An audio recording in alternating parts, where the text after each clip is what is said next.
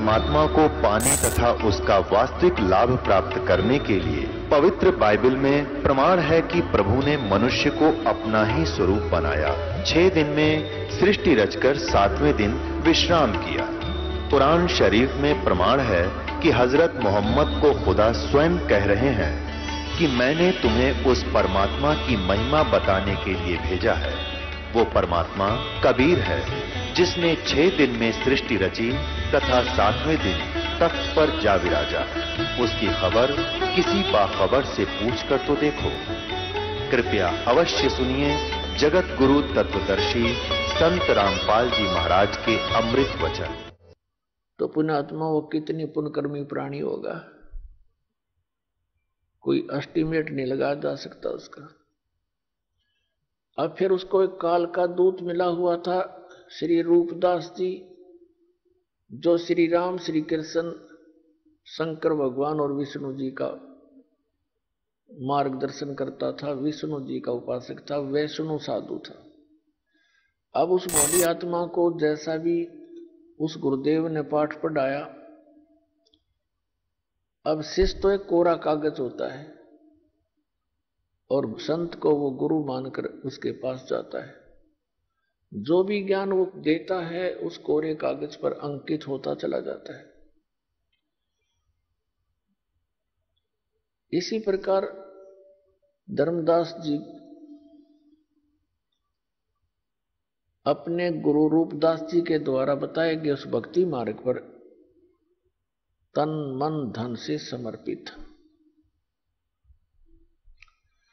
उनके गुरुदेव ने कौन सी पूजाएँ बता रखी थी कि हरे राम, हरे कृष्ण?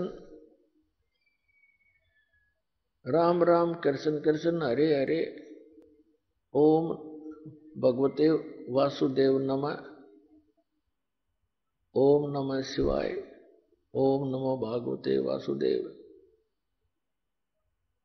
और साथ में अन्य क्रियाएँ बता रखी थी, जैसे सालग्राम यानी विष्णु जी की मूर्ति की पूजा।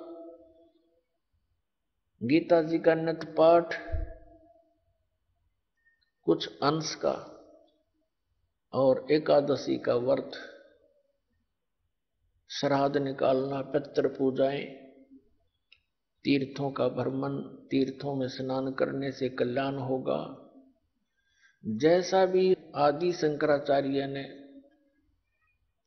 ये उल्टा पाठ पढ़ाया था, वही हिंदू धर्म के अंदर ये सभी धर्मगुरु उसी ज्ञान को आगे फैलाया है।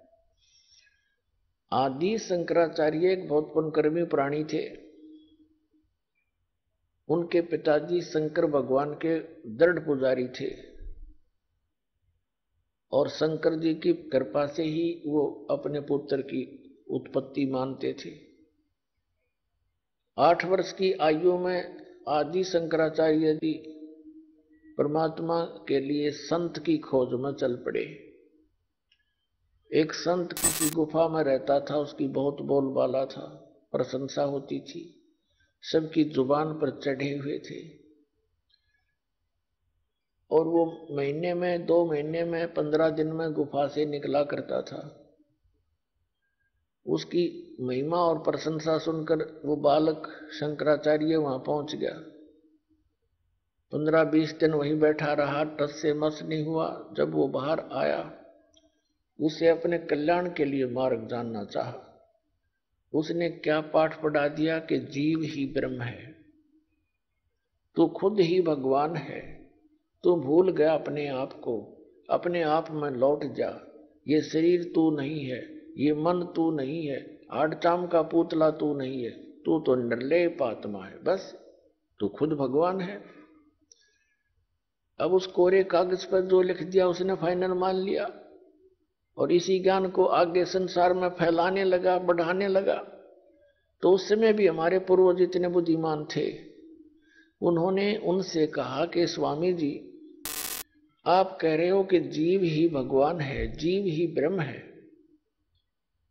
फिर ठीक है, आप अपना काम करो, हम अपना कर रहे हैं तो आप भी भगवान हम भी भगवान। फिर और करना के रह गया? फिर क्या करे, बताओ? आप कह रहे हो जीव भगवान है। और ये ज्ञान देते फिर रहे हो ठीक हमने पता लग गया। तू भी भगवान, हम भी भगवान। चल अपना काम कर। अब उसने सोचा, भाई, ये ऐसे तो ये पंथ बढ़ेगा नहीं। यह तो बहुत बात बिगड़ी, और बात भी सच्ची है। जब भगवान ने है, हम सारे तो फिर क्रिया के रहेगी, फिर और साधना क्या करेंगे भी? तो उसने भी फिर शर्मिंदा होकर और कोई चारा ना देखकर, क्योंकि पिछले संस्कार उसमें भरे हुए थे श्री राम और श्री कृष्ण के। तो उसने कहना शुरू कर दिया कि श्री राम, श्री कृष्ण और शंकर भगवान और विष्णु जी की पूजा करा करो। और तीर्थों पर मंदिरों में ये उसी के, दोबारा उसी का पनपाया हुआ ये ज्ञान है।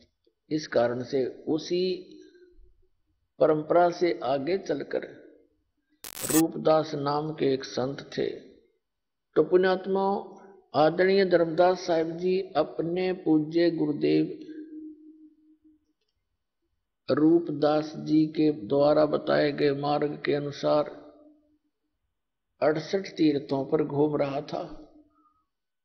जब वो वृंदावन के अंदर यानी मथुरा के अंदर पहुँचा, अब मथुरा की महिमा ये कैसे सुनाते हैं? हमारे धर्मगुरु, के वहाँ भगवान श्री कृष्ण ने लीला की थी, क्रीड़ा की थी। हैं, भगवान कृष्ण वहाँ पर घूमया फिरा करते थे, उसके चरण टिके हुए हैं और उस तालाब में स्नान किया करते थे। गोवर्धन पर्वत को भगवान श्री कृष्ण ने उठा लिया था। वहाँ जाने से कल्याण हो जाएगा। अरे भले आदमियों तो परमात्मा उनसे मिले। धर्मदास जी जैसा भी क्रिया बता रखी थी, मथुरा के तालाब में स्नान किया, जिसको वो तीर्थ मानते हैं। और उसी में से एक लोटा जल का भर लाया। पहले तो कुछ स्थान गाय के गोबर से और मिट्टी मिला करके लीपा, और फिर उसके ऊपर एक बढ़िया कपड़ा बिछा कर पहले तो भगवान विष्णु की मूर्ति को स्नान कराया, एक थाली में रख कर उसको फिर सारे कपड़े पहनाए, तलक तुलक लगाया, मुकुट रख दिया और उसको धूप दीप दे के लगा। गीता जी का पाठ नित नियम करता था वो। भगवान परमात्मा, वो सतपुरुष, वो हमारे पिता हमारे लिए भटक रहे हैं। वो उस समय काशी में प्रकट थे। एक जुलाई की भूमिका कर रहे थे। परमात्मा का यहाँ आने का उद्देश्य यही होता है कि यथार्थ ज्ञान प्रचार करूँ और काल भी ना समझ सके कि ये भगवान आए हैं, इस तरह लीला किया करते हैं काशी के अंदर दुल्हाई का कार्य करते थे और परमात्मा जिस उद्देश्य को लेकर आते हैं, वो भी साथ साथ पूरा करते हैं। जैसा कि वेद गवाही देते हैं कि वो परमात्मा सतलोक से चलकर आता है। अच्छी आत्माओं को मिलता है, उनको ज्ञान देता है, तत्व ज्ञान देता है, पूर्ण अध्यात्म मार्ग से उसको परिपूर्ण करता है। और परमात्मा स्वयं भी कहते हैं गोता मारो स्वर्ग में जा बैठो पाताल कह कभी ढूंढता फिरो मैं अपने हीरे मोती लाल उन हीरे मोती लालों को खोजते हुए परमात्मा एक ज़िंदा महात्मा का रूप बनाकर वहाँ पहुँच गए, जहाँ धर्मदास जी अपना नित्य क्रिया कर रहा था। थोड़ी सी दूरी पर बैठ के ज़िंदा महात्मा होते हैं मुसलमानों में काला सा ओवरकोट पहनते हैं, घुटनों से नीचे ताई का, पिंडलियों तक का, एक ही। और एक अंडरवियर कच्छा पहनते हैं घुटनों तक का। एक ऊपर टोप काले से रंग का, ऐसा ऊँचा ऊँचा सा टोप कपड़े का बनाकर पहनते ऐसी वेशभूषा वाले को ज़िंदा महात्मा कहते हैं, ये विशेषकर मुसलमानों में होते हैं। परमात्मा थोड़ी दूरी पर बैठ गया, क्योंकि हिंदू मुसलमानों से इसलिए नफरत करते रहे हैं कि ये मांस खाते हैं। तो परमात्मा ने सोचा, कहीं ये बिदक ना जावे, मेरी वेशभूषा को देखकर थोड़ा दूर बैठ के अपने आत्माओं देख हमारे साथ कैसा जुल्म कर रखा है इस काल ने। हमारे पिता ने हमारे निकट आते हुए डर लग रहा है, कहीं मेरा बच्चा और दूना ना गर्क हो जाए। जैसे बच्चा डूबने जा रहा हो और को निकालने की लिए कोशिश करता है तो उसने ये भी ध्यान रखना पड़ता कि आगे और ना चला जाए ये बालक, गहरे पानी में डूब ना जा। तो इसलिए परमात्मा दूर बैठ के, और वो नित नियम करते हुए गीता जी का पाठ कर रहा था। और परमात्मा ऐसे गर्दन हिला रहे थे जैसे मानो धर्मदास जी के द्वारा पढ़े जा रहे उस गीता के ज्ञान से बड़े प्रभावित हैं और बहुत अच्छा लग रहा हो। धर्मदास जी ने देखा कि ये मुसलमान होकर के हमारी गीता के ऊपर कितना आसक्त है। उस दिन थोड़ा सा और ऊँचे स्वर में बोलना शुरू कर दिया और गीता अध्याय जिसको पढ़ रहा था, उसका अनुवाद भी साथ बोलना शुरू कर दिया। जब उसने अपनी सब क्रियाएँ कर ली तब परमात्मा थोड़े से निकट आकर बैठ गए दस से एक फुट की दूरी पर और कहा, महाराज जी, हे महात्मा जी, मैं परमात्मा के लिए भटक रहा हूँ और मुझे कोई मार्गदर्शन करने वाला नहीं मिल रहा। परमात्मा की तरफ़ मुझे बहुत है, मेरा कोई मार्गदर्शन करो, मुझे यथार्थ ज्ञान बताएँ। तब धर्मदास जी को और अच्छी खुशी हुई कि भी बड़ी अच्छी बात है, मुसलमान हमारे इस धर्म से प्रभावित हुआ, हमारे ज्ञान से। तो उसने कहा कि आजा बैठ जा, बता देता हूँ। देखो, ऐसे ऐसे लगा बताने के अड़सठ तीर्थ करने चाहिए, श्रीमद् भगवद गीता का नित पाठ करना चाहिए, और ऐसे ऐसे राम कृष्ण की भक्ति करने से मोक्ष होता है। शंकर भगवान की भक्ति करनी चाहिए। तब परमात्मा ने कहा कि मेरे कुछ प्रश्नों का उत्तर दीजिए महात्मा जी, ताकि मेरा शंका का समाधान हो सके। धर्मदास जी, क्योंकि वैष्णु साधुओं जैसी वेशभूषा बना रखी थी उसने, साठ से भी ज़्यादा उम्र होगी थी उनकी, सत्तर के आसपास। और उसमें उसने अपने वेशभूषा एक वैष्णु साधुओं संतों जैसी बना रखी थी। गले में एक कंठी, एक तुलसी की माला, मणिया होता है मन का बस। और लंबा सा तिलक यहाँ से लेकर यहाँ तक पूरे नाक पर लगाते हैं। माला डाल रखी अन्य मालाएँ। तो इस वेशभूषा वाले को वैष्णु संत कहते हैं। तो परमात्मा ने कहा कि महात्मा जी, मेरी कुछ शंकाओं का समाधान कीजिए। मुझे ये बताइए कि ब्रह्मा विष्णु महेश जी के माता पिता कौन है? अब धर्मदास जी जो पाठ पढ़ रखा था, वही लगा सुनाने। ये तो अदर अमर है, इनका कोई माता पिता नहीं है, सर्वेश्वर है श्री कृष्ण विष्णु, ये एक ही है। तो परमात्मा ने कहा कि श्रीमद भगवत गीता का ज्ञान बोला किसने, महात्मा जी? धर्मदास जी ने कहा कि श्री कृष्ण भगवान ने बोला श्री कृष्ण भगवान विष्णु जी के अवतार हैं। रजगुण ब्रह्मा जी हैं सतगुण विष्णु, तमगुण शिव जी, ये तीनों ही भगवान अदर अमर हैं, यही सथिति उत्पत्ति और संहार यही करते हैं। तो परमात्मा ने कहा कि अभी आप जो गीता पढ़ रहे थे, गीता जी अध्याय नंबर चार के श्लोक नंबर आपने पाँच में पढ़ा, नौ में पढ़ा।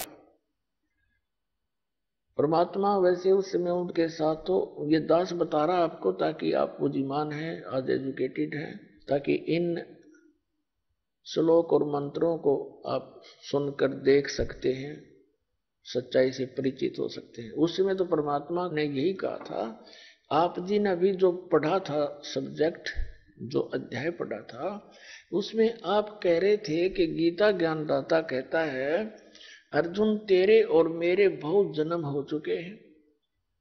तू नहीं जानता, मैं जानता हूँ। और फिर अठारहवें अध्याय के बैसठवें श्लोक में परमात्मा ने उनको हर तरह से कंडम करना चाहा, क्योंकि काल के प्रत्येक दाव को जब तक नहीं काटा जाएगा, तब तक प्राणी परमात्मा को पहचान नहीं सकता। तो परमात्मा ने कहा कि एक जगह मैं सुन रहा था गीता का पाठ, एक ब्राह्मण सुना रहा था। वो कह रहा था अठारहवें अध्याय के बैसठवें श्लोक में, कि अर्जुन, तू सर्वभाव से उस परमेश्वर की शरण में जा, उसकी कृपा से तू परम शांति को, सनातन परम धाम को प्राप्त होगा श्रीमद भगवद गीता अध्याय नंबर पंद्रह के श्लोक नंबर एक से लेकर चार में कहा कि अर्जुन, उल्टे लटके हुए संसार रूपी वृक्ष को जो संत तत्व से जानता है, उसके सभी विभागों को जानता है, वो तत्वदर्शी संत है।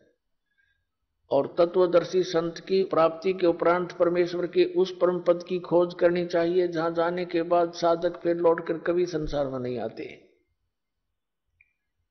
और गीता ज्ञानदाता स्वयं कह रहा है, केवल उसी की भक्ति करो। वो भगवान बता मुझे कौन है महात्मा जी? और ये आप कह रहे हो श्री कृष्ण जी, अर्थात विष्णु जी ने गीता बोली। तो ये तो आप कह रहे हैं, मेरी तो जन्म मृत्यु होती है, आप इनको अजरोमर बता रहे हो। अब धर्मदास जी सुन हो गया सच्चाई के आगे झूठ नहीं चल सकती। वो ना बोल पा रहा है, ऐसा हो गया जैसे सतब्ध हो जाता है। फिर परमात्मा ने कहा कि महात्मा जी आप गुस्सा ना मानना। देखो, मैं जब तक अपनी शंका का समाधान नहीं करवा लूँगा तो मैं आपका अनुसरण कैसे कर पाऊँगा? धर्मदास जी ने फिर लंबा सांस लिया। अक और बोल क्या पूछेगा? पूछना पाछना तो कुछ रह नहीं रहा था फिर शर्मिंदा होकर कह रहा था। परमात्मा ने कहा कि जैसे आप श्री राम, हरे राम, हरे कृष्ण, ओम नमः शिवाय, ओम भगवते वासुदेव ये जो मंत्र जाप करते हो, एकादशी का व्रत करते हो, या तीर्थों पर जाने के लिए आप स्वयं भी जाते हो मुझे भी आप बता रहे हो, ऐसा करो। तो क्या श्रीमद भगवत गीता में लिखा है ऐसा कि नहीं, इसमें तो कहीं नहीं लिखा, धर्मदास बोला। तो परमात्मा ने कहा कि एक किसान था, और उसको वृद्ध अवस्था में साठ सत्तर वर्ष की उम्र में पुत्र प्राप्त हुआ।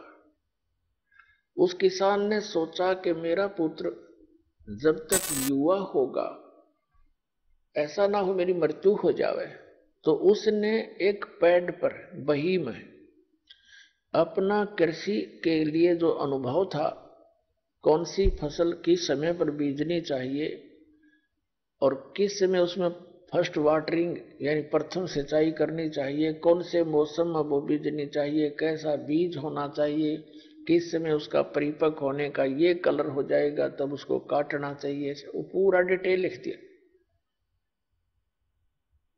और उसकी पिता की मृत्यु होगी, पुत्र युवा हुआ। अब वो पुत्र उस अपने पिता की, उस बही को, पैड को, अनुभव को डेली पढ़ लेता है, एक पृष्ठ या दो पृष्ठ। और जैसा उसके पिताजी ने मार्गदर्शन कर रखा, इसकी बजाय वो और ही क्रियाएँ उसमें और ही फ़सल बो रहा है। जैसे बोने के लिए लिखा है, गेहूँ और बो रहा है भाँग। तो वो कैसी समझदारी कर रखी है उसने? उस बच्चे का क्या कर्तव्य बनता है? धर्मदास जी, मुझे बताइए आप। क्या उसका कर्तव्य नहीं बनता? जो पिता ने उसमें लिख रखा बही में, पैड में, उसके अनुसार उसका पॉइंट टू पॉइंट फॉलो करे। धर्मदास जी कहते हैं हाँ बिल्कुल सही है, ना तो मूर्ख हो तो मूर्ख ही मूर्ख ही। फिर क्या पाओगा उसने तो परमात्मा ने कहा, ऐसे ही मूर्ख तुम लगे मुझे। आपके परमात्मा ने लिखा है कि इसमें कोई मंत्र जाप करना ही नहीं, आठवें अध्याय के तेरहवें श्लोक में लिखा कि ओम इति एक अक्षरम ब्रह्म विवरण माँ मनुसमण यह परियाति तदन देहम से आती परमागति। अब गीता ज्ञानदाता कहता, मेरा केवल एक ओम मंत्र है नथिंग एल्स इसके अतिरिक्त और कोई मंत्र मेरा नहीं है। और गीता अध्याय नंबर 16 के श्लोक नंबर 23 24 में कहा है कि शास्त्र विधि को त्याग कर जो मनमानी पूजा करते मनमान्य जाप करते हैं, मनमाना आचरण करते हैं, उनको न तो कोई सुख हो, न उनकी गति हो, न ही सिद्धि प्राप्ति हो। इससे तेरे लिए अर्जुन कर्तव्य और कर्तव्य की व्यवस्था में सदग्रंथ ही प्रमाण है।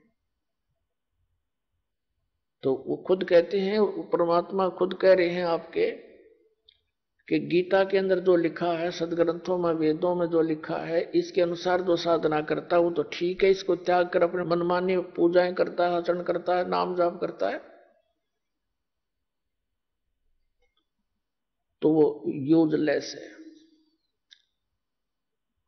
अब धर्मदास जी तो पसीने आ गए, और ये पुराना रंग बीस तीस पचास वर्ष से फिर पूरे समाज के अंदर जहाँ भी जाते हैं, एक ही जैसी लोकवेद कथाएँ होती हैं।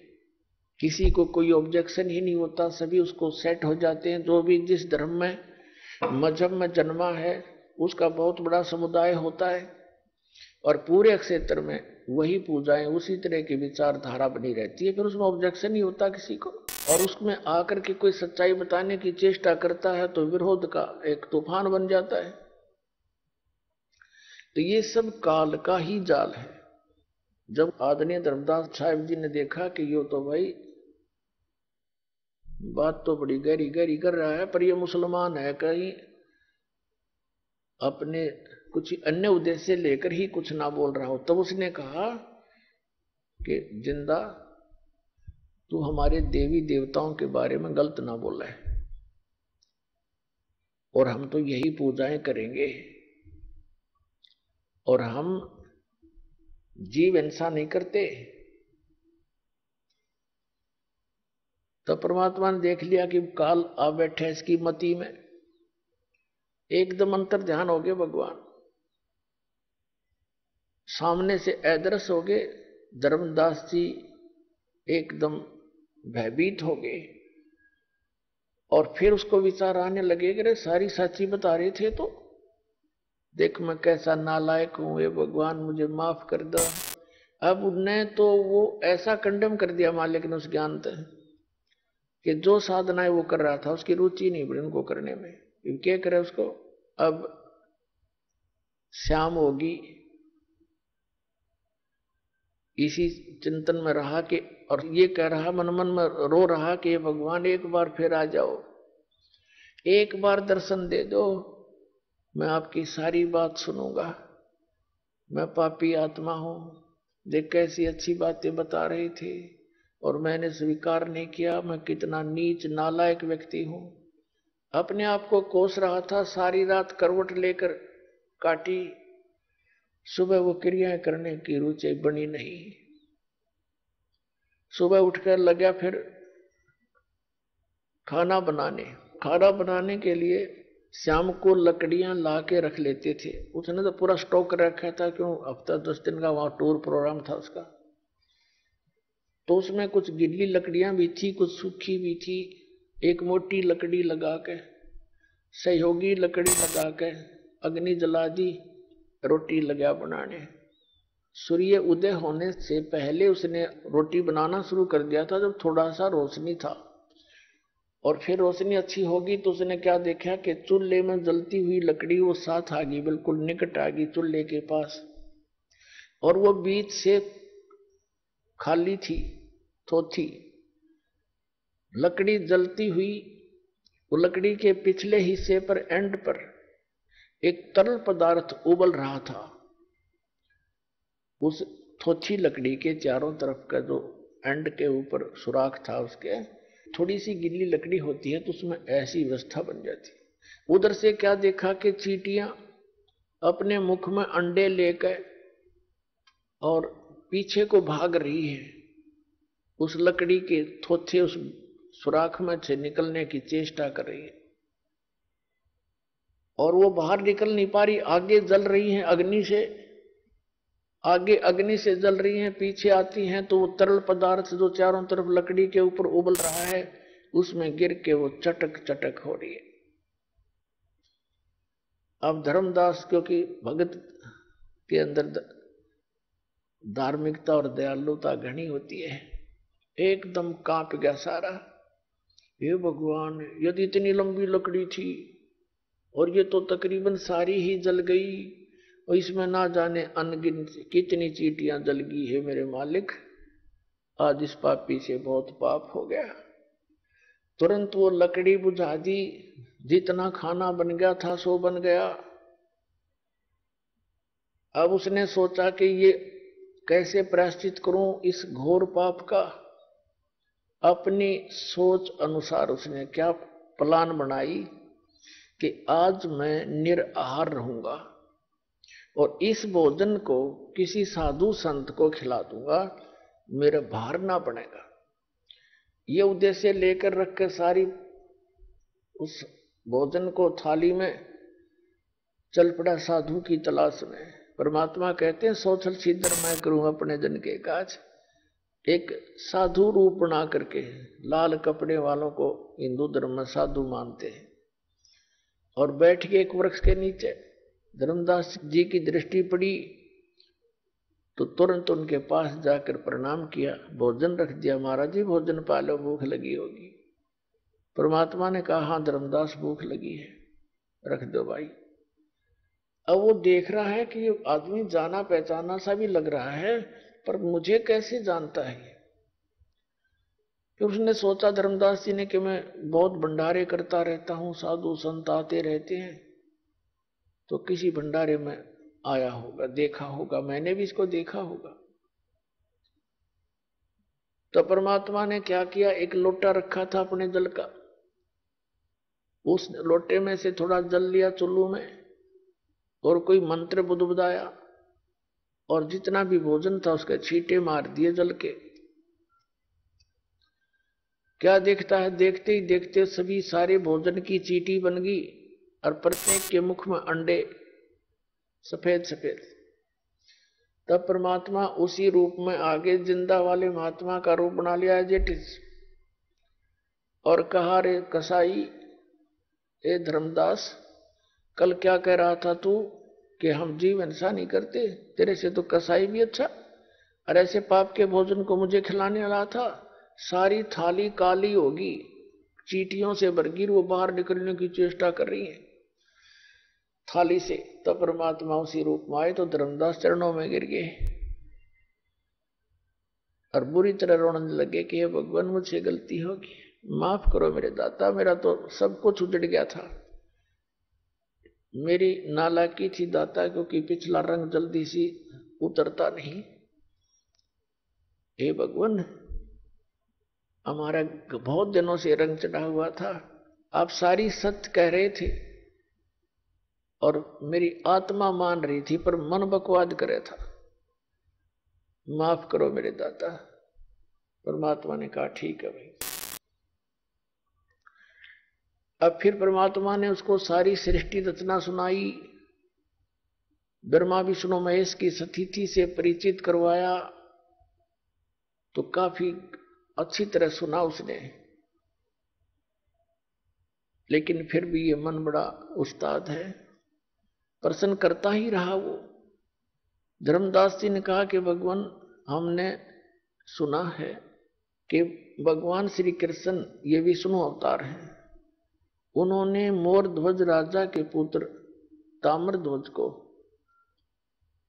आरे से दो फाड़ करवा दिया था और फिर जीवित कर दिया। अब आपकी बात को मैं कैसे स्वीकार करूँ कि उनमें कोई शक्ति नहीं है? तो परमात्मा ने कहा, बेटा, मैं ये नहीं कह रहा कि इनमें शक्ति नहीं है, पर इनसे मोक्ष नहीं है। जन्म मृत्यु ना आपकी समाप्त हो सकती, ना इन तेरे भगवानों की हो सकती। अब परमात्मा ने कहा कि देखो, वही श्री कृष्ण भगवान उस समय वो फेल हो गए जिस समय अभिमन्यु महाभारत के युद्ध में प्रथम दिन ही मारा गया था। अभिमन्यु भगवान श्री कृष्ण का सगा बांधा था, सुभद्रा का पुत्र था और पांडव का कुलनाश हो रहा था। श्री कृष्ण उनको जीवित नहीं कर सका। अब धर्मदास जी एकदम सतब्ध हो गए। तो परमात्मा से पूछा कि, भगवान, क्या कारण था? तो परमात्मा ने कहा, कबीर जी ने, कि धर्मदास तामर ध्वज दो लड़का था, उसकी आयु शेष थी। इस कटे हुए शरीर को ये उनके संस्कारवश ठीक कर सकते हैं। उसकी आयु शेष थी, इसलिए उसको जीवित कर दिया। आप पे मरवाया था आप पे जीवित कर दिया। अभिमन्यु की आयु शेष नहीं थी, आपके भगवान कृष्ण जी नहीं कर सके उसको जीवित। और एक परमात्मा परम अक्षर ब्रह्म है, जिसकी मैंने कथा सुनी है। धर्मदास जी ने पूछा कि फिर आपको ज्ञान कहाँ से हुआ, ज़िंदा महात्मा? कि एक कबीर नाम के महापुरुष परमात्मा सतगुरु आए हुए हैं। उस सतगुरु ने मुझे ये ज्ञान बताया है। और उसी से मैं आपको आगे ये जानकारी दे रहा हूँ। तब धर्मदास जी ने कहा कि भगवान, सृष्टि रचना आपने सुनाई। और सतलोक की महिमा बताई, मुझे वहाँ के दर्शन कराओ। तब मेरा विश्वास दृढ़ हो। परमात्मा बोले, भाई, बात सुन। मैं तुझे विधि बताऊँगा जो मैंने अपने गुरुदेव से प्राप्त है। और उसकी तू साधना कर। जब तू शरीर छोड़ के जाएगा, वहीं पहुँच जाएगा। ऐसा हठ नहीं करना चाहिए तो फिर उसने कुछ और ऐसे ही अटपट बातें कर दी। और शंकाएँ बहुत पैदा कर ली तो परमात्मा फिर अंतर ध्यान हो गए। और फिर लगा बुरी तरह रोने। फिर धर्मदास जी रोते हुए वापस चल पड़े, अपने बांधवगढ़ की तरफ़। अब घर पर जब पहुँचे उसकी पत्नी बड़ी धार्मिक थी। आमनी देवी ने कहा कि, भगत जी, आपने तो बहुत लंबा टूर प्रोग्राम बना रखा था, इतने शीघ्र कैसे आगे वापस? तब धर्मदास जी बुरी तरह रो रहे थे। ऐसे रो रहे थे जैसे कोई निजी व्यक्ति की मृत्यु हो जा। बोला नहीं जा रहा था, कंठ रुद गया था। उसकी पत्नी ने सोचा कि भगत जी का किसी ने धन लूट लिया। जो ये पैसा अपने रास्ते का खर्च लेकर गए थे, किसी ने लूट लिया और ये न्यू रो रहा है कि मैं कंजूस टाइप हूँ थोड़ी सी क्योंकि धर्मदास जी खुले दिल से धर्म क्या करते थे, वह टोक टाक देती थी कि इतना खर्चा नहीं करा करते, बालक भी पढ़ते हैं। तो उसने अपने आप सोच लिया कि कहीं ये इसलिए दुखी हो कि मैं इसकी प्रत्येक क्रिया में बाधा बना करती थी। और आज इसकी दशा देखकर मुझसे रहा नहीं जा रहा तो उस रोते हुए को देखकर कहने लगी कि आपके भगवान ने गणाय दंड दे रखे हैं। आप क्यों चिंतित होते हो? किसी ने धन चुरा भी लिया तो आप दोबारा ले जाओ। काफ़ी देर के बाद धर्मदास जी थोड़ा सा नॉर्मल से हुए। फिर बताने लगा कि आमनी, यदि मेरा भौतिक धन खत्म हो जाता तो मैं नहीं रोता। आज मेरा वो धन चला गया, शायद मुझे नहीं मिले और वो मिलेगा नहीं, मैं जीव नहीं। आमनी जी ने फिर पूछा, सारी कहानी बता दी है। आमनी जी ने कहा कि आप एक व्यापारी होकर के और सौदा चूक गए। तब धर्मदास जी कहता कि, जीवन में पहली बार चुका हूँ मैं। इसलिए रो रहा हूँ मैं, कितना नालायक हूँ। सारी कथा सुनाई, सारी कहानी बताई।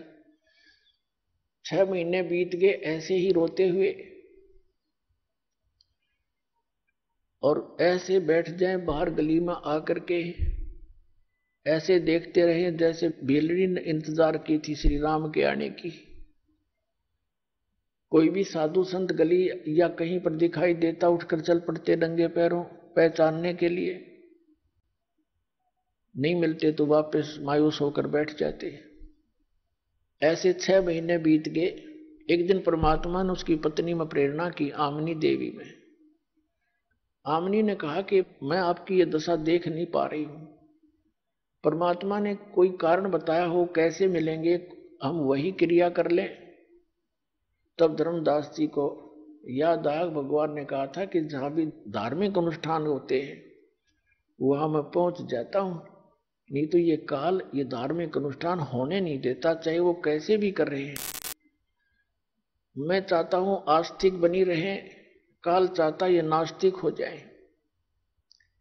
तब आमनी ने कहा कि आप भंडारा कर दो आमनी ने एक दिन का कहा, उसने तीन दिन का रख दिया।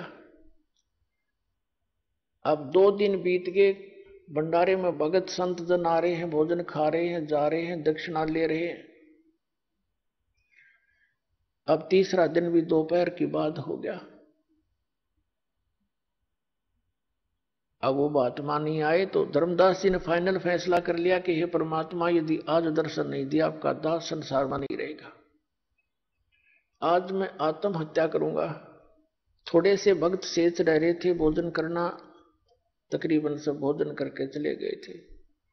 परमात्मा ने देख लिया, आज यो पक्का मरेगा। एक कदम के पेड़ के नीचे जो वहाँ से सौ फुट की दूरी पर था, भंडारा चल रहा था। उसी महात्मा वाले ज़िंदा के रूप में आकर विराजमान हो गए। धर्मदास की दृष्टि पड़ी, भागा गए, दौड़े दौड़े, देखा सचमुच तो वही है। और सीने से लग गए नो चपट गए कति ये भगवान, अब के छोड़ के ना चाहिए इनू देखे मुँह की तरफ़ और रोवा बुरी तरह तो परमात्मा को घर ले आए। आमनी जी से कहा कि आजा मेरा धन पा गया। दोनों ने एक एक पैर पकड़ लिया। आमनी जी ने कहा कि भगवान, ये आपका बच्चा बड़े नरम दिल का है। इसकी इतनी कड़ी परीक्षा नहीं लेनी चाहिए थी। परमात्मा ने कहा, बेटा यु काल का वकील बन रहा था। और एक नहीं मानना था, मैं सारी सच्ची कहूँ था। अब इसको मैंने ताव दिया है, ये लोहा गर्म कर दिया इसका। अब जो चोट मारूँगा, वह ठिकाने लगेगी। इसलिए इसको छह महीने का ताव देना पड़ा। फिर परमात्मा ने दोनों को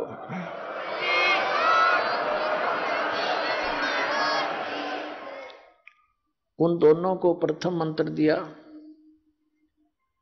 एक दिन धर्मदास जी ने बहुत आग्रह किया, भगवान, एक बार आपका लोक दिखा दो। परमात्मा भी चाहते थे, मैं गवाह बनाऊँ अपना। धर्मदास जी को लेकर के सतलोक गए नीचे रह गया, भौतिक शरीर, सतलोक लेकर गए। तो वहाँ क्या देखा? परमात्मा अपने दूसरे रूप में तेजो में शरीर, जिसके सिंहासन पर विराजमान है, मनुष्य आकार है, एक रोमकूप में करोड़ सूर्य मिला दे, करोड़ चंद्रमा। उससे भी अधिक रोशनी परमात्मा के शरीर की है। अब धर्मदास जी ने देखा भी, भगवान तो ये होगा और ये नौकर होगा ज़िंदा यहाँ का। तो कबीर परमात्मा जिंदे के महात्मा के रूप में नीचे से गए थे, चौर करने लगे उस परमात्मा के अपने दूसरे स्वरूप पर। थोड़ी सी देर में सिंहासन पर विराजमान जो परमात्मा थे वो उठे और नीचे से गए हुआ शरीर ज़िंदा वाला सिंहासन पर विराजमान हुआ। और वो तेजों में शरीर वाला भगवान ज़िंदा महात्मा के ऊपर चवर करने लगा। कुछ देर के बाद धर्मदास जी ये सोच रहे थे, ये क्या हो रहा है कि महात्मा के ऊपर भगवान चवर कर रहा है? इतने में तेजों में शरीर, ज़िंदा वाले शरीर में समा गए, अकेले कबीर भगवान, ज़िंदा वाले रूप में वहाँ विराजमान रहे, अनंत कोट ब्रह्मांड के कंट्रोलर के सिंहासन। फिर परमात्मा ने कहा कि जाइए, धर्मदास नीचे जाओ और मेरी इस सारी महिमा से तू जनता को परिचित कराओ। तब धर्मदास जी ने कहा था कि भगवान, मुझे यही रख लो दाता, ना भेजो मुझको। उस गंदे लोक में तो भगवान ने कहा, बेटा, जाना पड़ेगा। क्योंकि तुम भक्ति युक्त थे, अब भक्तिहीन हो चुके हो, मैं तुम्हें सतनाम दूँगा, सारनाम दूँगा। उसकी साधना करके तुम वापस आ सकते हो, वैसे यहाँ ठिकाना नहीं। कहने का भाव ये मालिक के कहने से वापस शरीर में आया तीसरे दिन। पूरे परिवार रिश्तेदार इकट्ठे हो गए, बेहोश पड़ा सब इलाज ट्रीटमेंट जंतर मंत्र भी करा लिए। जब धर्मदास जी उठे, एकदम देखा कि महात्मा जी कहाँ हैं, सामने नहीं पाए उनको। उठकर चल पड़े कि काशी में बता रहे थे, मैं काशी में रहता हूँ, जुलाई का काम करता हूँ, कबीर मेरा नाम है। अब काशी में जाकर देखिए, वही सूरत और चरणों में गिर गए परमात्मा के। सतलोक में जो आँखों देखा, वर्णन कबीर सागर के अंदर वर्णित किया, परमात्मा की आँखों देखी वाणी का। तो पुण्यात्माओं, जिस नाम से उन महापुरुषों का कल्याण हुआ, जैसे आदरणीय नानक साहिब जी को भी परमात्मा ऐसे लेकर गए थे। फिर उनको छोड़ा था, उन्होंने कहा था भाई सूरत मुलुक की वेश ए ठगवाड़ा ठगी देश खरा सियाणा बोता बारी धान के रूप रहा करता। तो पुणात्माओं सौभाग्य आपका। आपको परमात्मा ने वही मंत्र उपलब्ध कराए। धन्य आपके माता पिता दिन से जन्म बोलो सतगुरुदेव।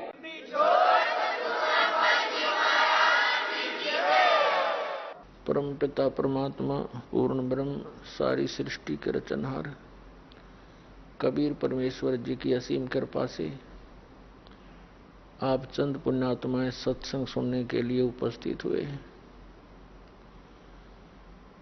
जिन पुण्यात्माओं के ऊपर परमात्मा प्रसन्न होते हैं, वही सत्संग सुनने के लिए, संत दर्श के लिए पहुँच पाते हैं। परमात्मा के विधान में लिखा है कि जिन भी प्राणियों को मानव शरीर प्राप्त है, ये सभी पुण्यकर्मी प्राणी हैं। लेकिन जिनके अंदर परमात्मा की विशेष आस्था है, परमात्मा की तड़फ है, वो और अच्छी पुण्यकर्मी आत्माएँ हैं। अत्यधिक पुण्ययुक्त हैं। और जिन पुण्यात्माओं को सतगुरु मिल गए, सत्य भक्ति प्राप्त होगी, वो मानव शरीरधारी प्राणी, अत्यधिक पुण्ययुक्त प्राणी है। आप उन तीसरी कैटेगरी के अति उत्तम पुण्यकर्मी प्राणियों में से एक हैं। जिनको सतगुरु मिला और सत्य भक्ति प्राप्त हुई। अन्य मानव शरीरधारी प्राणी सभी पुण्यकर्मी हैं। दुर्भाग्य उनका, जो परमात्मा की कसक में, परमात्मा की चाह में, इन नकली ऋषि, महर्षि, गुरुओं, मंडलेश्वरों के पास पहुँच गए। और उनको परम संत, परम धनी, महर्षि, तत्वेता संत जान के उनसे दीक्षा लेकर निश्चिंत हुए। तो पुण्यात्माओं, ये सारी व्यवस्था जो है, पिछले संस्कारों पर निर्भर करती है। जो प्रथम प्रकार के प्राणी हैं, जो मनुष्य शरीर प्राप्त है लेकिन परमात्मा की उनको कोई चिंता नहीं, कोई चाह नहीं। वो पुण्यकर्मी तो हैं, क्योंकि वो परमात्मा प्राप्ति करने वाले उस विद्यालय में प्रवेश पा चुके हैं। उनको ये अलग से ड्रेस मिल गई है, जो विद्यार्थियों की होती है, यानी मानव शरीर, स्त्री या पुरुष का। ये वो ड्रेस है, ये वो पोशाक है, जो एक विद्यार्थी को प्राप्त होती है। तो आप जी उस विद्यालय के विद्यार्थी हैं, सभी मानव शरीरधारी प्राणी। जिस विद्यालय में शिक्षा ग्रहण करके उसका बेनिफिट हमें बाहर फ़ील्ड में प्राप्त होगा। जैसे विद्यार्थी कॉलेज या स्कूल में पढ़ते हैं तो वो वहाँ अपनी पढ़ाई ठीक से करके दिन रात एक करके, शिक्षा ग्रहण करके उत्तीर्ण हो गए। कॉलेज छोड़कर जब चले जाते हैं, उनको अन्य स्थानों पर उसका लाभ मिलता है, नौकरी मिलती है या कोई व्यवसाय प्राप्त होता है। और जो विद्यार्थी विद्यालय के उस शिक्षा के दौरान ही, उस शिक्षा समय के दौरान ही, उसके अंतर्गत ही विद्या ग्रहण ना करके वो सिनेमा देखता है और अच्छा खाता पीता उड़ता पहनता है और सो जाता है। अर्थात अपने उद्देश्य से विचलित होकर और कॉलेज के दौरान, कॉलेज के समय में जो सुविधाएँ प्राप्त कर रहा है, वो विद्यार्थी अपने जीवन को नाश कर रहा है। तो पुण्यात्मा, आप जी, पूरे विश्व में जितने भी मानव शरीरधारी प्राणी हैं, सब को परमात्मा ने वो ड्रेस दे रखी है। एक पहचान है कि आप विद्यार्थी हैं। विद्यार्थी को माता पिता प्रत्येक सुविधा देते हैं।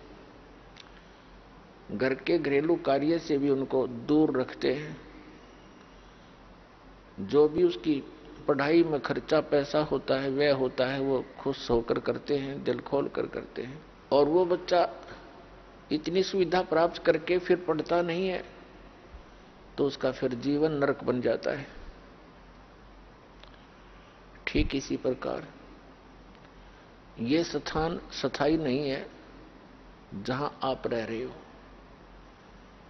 और इस मनुष्य जीवन का उद्देश्य केवल इतना ही नहीं है जितना आप जी सत्संग प्राप्ति से पहले कर रहे हो। संतान, उत्पत्ति, उनकी परवरिश विवाह कर देना, उनके फिर संतान की आशा लगाकर जीवन व्यतीत करना, फिर मृत्यु को प्राप्त हो जाना और अपने मनुष्य जीवन के कर्म को और कर्तव्य को पूरा जान लेना, ये हमारी तत्व ज्ञानहीनता थी। तो पुण्यात्माओं, जैसे आप यहाँ पढ़ोगे, ये शिक्षा ग्रहण करोगे, यानी परमात्मा के ज्ञान को सुनोगे फिर जैसा भी आपको क्रियाएँ बताई जाती हैं, उन साधनाओं को करोगे। तो आपको इस पृथ्वी पर सुविधाएँ नहीं मिलेंगी, वो इस पर जो मिलनी है, वो आपको आवश्यक वो दे ही रखी है परमात्मा ने। क्यों? मानव शरीर दे दिया, उसमें खान पान सूझ सूझ बूझ सदबुद्धि, अंग क्रियाएँ सारी ऐसी दे दी जो हम अपने शरीर की सुरक्षा के लिए मकान बना सकते हैं प्राकृतिक आपदाओं से बचने के लिए। समय पर आहार कर सकते हैं, भूख लगती है तो बता के हम भोजन भी प्राप्त कर सकते हैं, प्यास लगे, जब चाहे हम जल ग्रहण कर सकते हैं। तो ये हमें सद्बुद्धि जीत, इस सद्बुद्धि का हम प्रयोग करके, भक्ति करके सतलोक जा सकते हैं। ये पूरी पृथ्वी एक यूनिवर्सिटी समझो स्कूल कॉलेज समझो। और जिसको जैसा टीचर मिला है, जिसने जहाँ की जैसी ट्रेनिंग की है उसी ट्रेनिंग का ही वो आगे लाभ प्राप्त कर सकता है। जैसे किसी ने श्री विष्णु जी सतगुण की पूजा की है तो उसको पृथ्वी की बजाय विष्णु जी के लोक में जाकर के वो सुविधा प्राप्त होगी। जैसे फ़ील्ड में, यानी क्षेत्र में जाकर ही विद्यार्थी को नौकरी मिलती है, जॉब मिलती है। ऐसे ही जिसने शिव जी की भक्ति की, शिवलोक में चला जाएगा। जिसने ब्रह्म की भक्ति की, वो ब्रह्मलोक में चला जाएगा। और जिसने श्री देवी दुर्गा की भक्ति की वो दुर्गा जी के लोक में चला जाएगा। और जिसने पूर्ण ब्रह्म परम अक्षर ब्रह्म सत्य पुरुष की साधना की तो सतलोक में चला जाएगा। आइए अब हम उन श्रद्धालुओं के अनुभव जानते हैं जो जगत गुरु तत्वदर्शी संत रामपाल जी महाराज जी से दीक्षा प्राप्त कर चुके हैं तथा उनके द्वारा बताए गए भक्ति मार्ग पर चल रहे हैं। नमस्कार सर। नमस्कार सर जी। सर क्या नाम है आपका? सर जी मेरा नाम भगवान सिंह बसेड़ा है। कहाँ से आए हैं सर? मैं उत्तराखंड के पिथौरागढ़ ज़िले से बिलोंग करता हूँ सर। सर संत रामपाल जी महाराज की शरण में आप कब आए? मैं सर तेरह अगस्त 2013 को संत रामपाल जी महाराज की शरण में आया।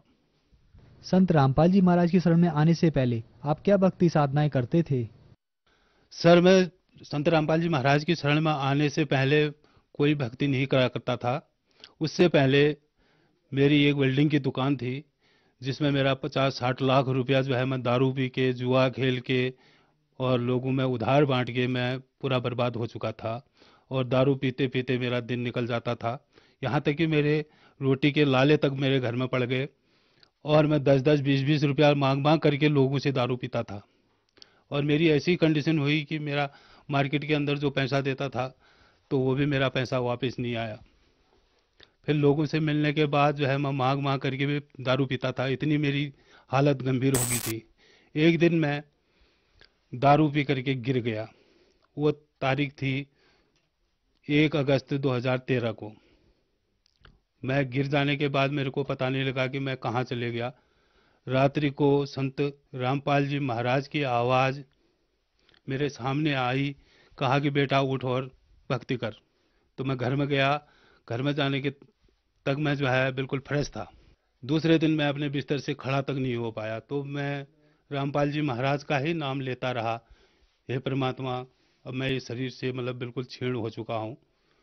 अब मेरे को जो है थोड़ी ताकत दे दो क्योंकि मेरे को बाहर टॉयलेट और बाथरूम जाना था। तो परमात्मा की ऐसी दया हुई कि संत रामपाल जी महाराज की कि उन्होंने पता नहीं कहाँ से ताक, ताकत दी।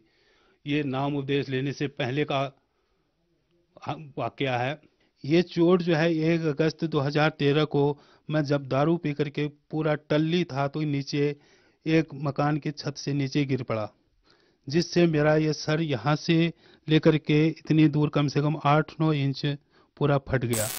पूरी ब्लीडिंग होने के बाद मैं बेहोश हो गया। तो जब होश आने के बाद मैंने यही कहा कि अगर संत रामपाल जी अगर भगवान हैं तो मेरा ये न टाँका लगे और मेरा इलाज हो जाए। तो ये मेरा बिना पैसे के ये टाँका नहीं लगा और मेरा ये सर का ये चोट जो है पूरा बहुत अच्छी तरीके से पूर्ण हो गया। इसमें केवल संत रामपाल जी महाराज का ही अमृतमयी हाथ पड़ा है, जिससे मैं स्वस्थ हो गया। उससे पहले भी संत रामपाल जी महाराज की आवाज़ मेरे को 2000 सन से पहले, उन्नीस सौ सतानवे में भी मेरे को संत रामपाल जी महाराज की आवाज़ मिली, केवल आवाज़ मिली, जिसको शब्द स्वरूपी राम कहते हैं। परमात्मा के रूप में तभी से मैं उनकी आवाज़ को ढूंढता रहता था और भक्ति कोई नहीं करता था। हालाँकि हमारे यहाँ पहाड़ों में देवी देवताओं की बहुत सारी पूजाएँ होती हैं लेकिन मैं मंदिरों से भी विश्वास हट गया था संत रामपाल जी महाराज की शरण में आने के बाद क्या आपको कोई लाभ भी प्राप्त हुए? सर संत रामपाल जी महाराज की शरण में आने के बाद मेरे को बहुत सारे लाभ हुए। लाभों में से प्रथम लाभ मैं आपको बता देता हूँ कि 14 नवंबर 2013 को मैं प्रथम उपदेश में था। मेरी घरवाली का जो है, जो डिलीवरी होनी थी, जिसके लिए मैं ज़िला अस्पताल पिथौरागढ़ में अपनी मिसेज को इलाज के लिए ले गया। तो डॉक्टरों ने उसकी कमज़ोरी को देख के कहा कि इसके लिए ब्लड की ज़रूरत पड़ेगी। ब्लड लगभग लगभग आठ या नौ यूनिट बताया। अब मेरे पास मात्र तीन यूनिट ब्लड उपलब्ध हो चुका। उस ब्लड को जब मैं हॉस्पिटल में ले गया तो उसके बाद जो है हॉस्पिटल वाले कहने वाले हुए कि इसको जो है या तो हल्द्वानी रिफ़र करो या तो इसको बाहर ले जाओ। तो मैंने वहीं पे इलाज करना उचित समझा क्योंकि मेरे पास पैसा नहीं था। उसके बाद जब घरवाली का ऑपरेशन हुआ, ऑपरेशन होने के बाद उसको जब वहाँ से उठाया, दूसरे बिस्तरे पे ले गए तो वो बेहोश टाइप की हो गई और छटपटाने लग गई। जिससे पूरे हॉस्पिटल में हड़कम मच गया। ये वाकया 14 नवंबर 2014 का है। तो मुझे तो ये लगा कि अब घरवाली चली गई है। तो उसके बाद रात को वो डॉक्टर जो वहाँ की चीफ डॉक्टर निर्मला पुनेठा है, वो भी रात को आठ बजे, नौ बजे के लगभग हॉस्पिटल में आई। उसने मरीज़ को देखा, फिर बाद में कहा कि यहाँ तो इलाज कराने से भी आदमी कतराते नहीं हैं, बाहर ले जाओ बोलते हैं तो ले जाते नहीं हैं। लेकिन मेरा विश्वास परमात्मा रूपी संत रामपाल जी महाराज पे था, जो कि पूरा हुआ और मेरी घरवाली की जान बच गई। एक लाभ तो ये हुआ भगत जी, और दूसरा लाभ मेरी जो सबसे बड़ी बिटिया है, नाम उपदेश लेने से पहले उसके, उसको छह प्रकार की बीमारी हो गई। छह प्रकार की बीमारी ऐसी हुई, मैं अपने पिथौरागढ़ के हॉस्पिटल, जो कि माना जाना बछेड़ा हॉस्पिटल है। उसमें मैं इलाज के लिए अपनी बच्ची को ले गया तो डॉक्टर ने बताया कि इसको पीलिया टाइफाइड, निमोनिया, ये तीन बीमारी बताई। और बच्ची को उल्टी दस्त और मुँह में छाले थे। ये छह बीमारी हो गई। अब इलाज हमारे पास न तो पैसा था, जितना पैसा जेब में था, उतना वो टेस्ट कराने में ही खत्म हो गया। अब मेरे पास पैसा कहाँ से आ गया? एक वीरेंद्र भगत जी, विजेंद्र भगत जी जो पांखू के हैं, उनका फ़ोन उसी समय पे मेरे फ़ोन में आ गया। उन्होंने कहा, भगत जी, कहाँ हो? मैंने कहा, भगत जी, मैं तो इस इस टाइम जो है हॉस्पिटल में पड़ा हूँ। बिटिया की तबीयत ऐसे ऐसे, उसको पीलिया, टाइफाइड, निमोनिया है। तो उन्होंने बताया कि इसको पीलिया में झाड़ा लगाना होता है, ऐसा काम हमें नहीं करना है, हम उपदेशी हैं। तो हमने कहा, भगत जी, क्या होगा? तो उन्होंने कहा कि इसका जो है नाम उपदेश दिला दो। फिर नाम उपदेश के लिए मैं जैसे ही उन्हें कहा कि मेरे पास पैसा नहीं है, उन्होंने कहा कि भगत जी, पैसा नहीं है तो हमारे पास आ जाओ। तो दूसरे दिन मैं सवेरे ही उनके पास ले आया और हमारा नामदान केंद्र जो है गरुड़ में पड़ता है, जो बागेश्वर ज़िले में है। मैं वहाँ पे अपनी बच्ची को लेके गया, जहाँ पे संत रामपाल जी महाराज के नाम उपदेश के बाद उस बच्ची के मुँह के छाले बंद हो गई और उसने वहाँ पे खाना खाया और उसकी तबीयत अच्छी होने लग गई। और उसका पीलिया, टाइफाइड, निमोनिया ये बीमारी उसकी पता नहीं कहाँ चली गई इसके बारे में हमें कोई पता नहीं है। संत रामपाल जी जो है भगवान स्वरूप हैं, उनकी नाम उपदेश से ही उसकी बीमारी ठीक हो गई। दो तीन महीने के बाद उसी बच्ची के यूट्रेस में गांठ हो गई। यूट्रेस में गांठ होने के बाद अब ये दास जो है, न कोई नौकरी करता है क्योंकि परमात्मा की भक्ति ही करता है। क्योंकि दुनिया भर का दुखी है। वो कैसा दुखी जो कि पचास साठ लाख रुपया बर्बाद होने के बाद और परिवार में इतने झंझट होने के बाद आदमी की कंडीशन क्या होगी? तो ये दास जो है, परमात्मा को ये हमेशा याद करता रहा, जो संत रामपाल जी महाराज के नाम पे इस धरती पे अवतार पे हैं। तो दास को जो है, उस कन्या के बीमारी का इलाज कराने के लिए उतना पैसा नहीं था। तो आश्रम आजकल जगह जगह जो खुले हैं और जो फ़ोन नंबर टेलीविज़न में दिखाई देते हैं, उन नंबरों पर मैंने फ़ोन किया और नंबर पे मैंने अरदास लगा दी। दूसरे दिन संत रामपाल जी महाराज के आश्रम से आदेश आया कि भक्ति करो और परमात्मा दया करेंगे। तो मैं बहुत खुश हो गया और परमात्मा की दया भी हुई। मेरी बिटिया का इलाज मात्र सोलह सत्रह सौ रुपये की दवाई में ही ठीक हो गया। जो कि यूट्रस में गांठ पे अगर हो जाए तो आम आदमी कितना उसमें रुपया खर्चा करेगा। और इतने लाभ उसके लाभ के बाद और अन्य लाभ छोटे मोटे लाभ जो मेरे को हुए बहुत सारे लाभ हुए। सर संत रामपाल जी महाराज से नाम उपदेश लेने के बाद आपको बहुत सारे लाभ प्राप्त हुए। तो जो समाज आज आपको देख रहा है उनको आप क्या संदेश देना चाहते हैं? सर भगत समाज को ये दास संदेश तो नहीं दे सकता है लेकिन इन हाथों से जोड़ करके जो है, हाथों को जोड़ के और विनम्र प्रार्थना कर सकता है कि रामपाल जी महाराज भगवान कबीर जी के अवतार हैं, इसको सत माने और अपने निकटतम नामदान केंद्र पे जाके नाम उपदेश लें और जीवन का कल्याण करवाएँ, मोक्ष प्राप्त करें और सद्भक्ति का आनंद उठाएँ इस लोक पे। सर संत रामपाल जी महाराज से जुड़ने के लिए क्या करना होगा?